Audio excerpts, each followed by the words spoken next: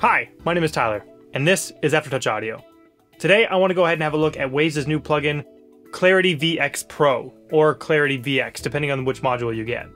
These are some actually really insanely good dialogue denoising plugins from what I've been able to test. So what I would like to actually go ahead and do is compare it with a few other plugins like C Suite, Era, RX, and um, compare the two plugins um, between themselves as well.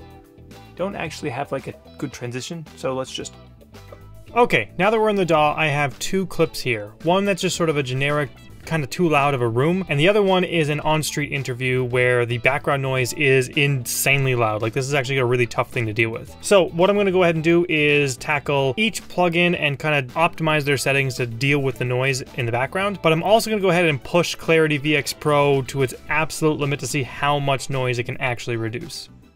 You uh, obviously the family is important. Uh, Rowan's back working here. Uh, the next generation is coming online. There has been nothing has been changed. It's all the same. It's war. It's fighting. There is no security. No guarantee to go from one place to another. You uh, obviously the family is important. Uh, Rowan's back working here. Uh, the next generation is coming online. There has been nothing has been changed is all the same. It's war, it's fighting, there is no security, no guarantee to go from one place to another. You, uh, obviously the family is important. Uh, Rowan's back working here. Uh, the next generation is coming online. There has been nothing has been changed. It's all the same. It's war, it's fighting, there is no security, no guarantee to go from one place to another. You, uh, obviously the family is important. Uh, Rowan's back working here. Uh, the next generation is coming online.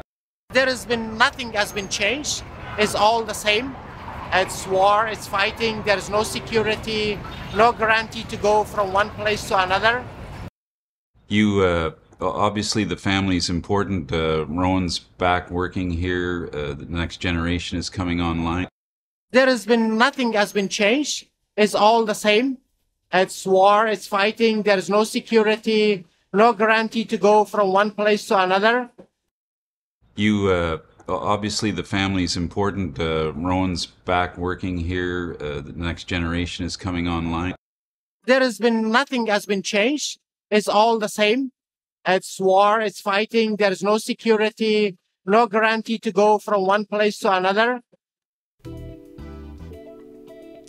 Yeah, it's really good. Uh, I was not actually expecting it to be that good.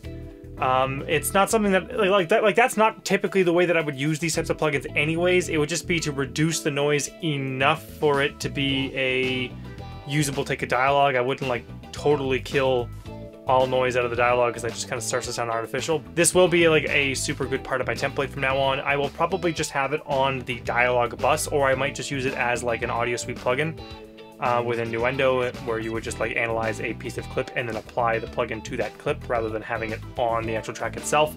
I think that might be a more useful way of doing it. I know. Anyways, go make some noise.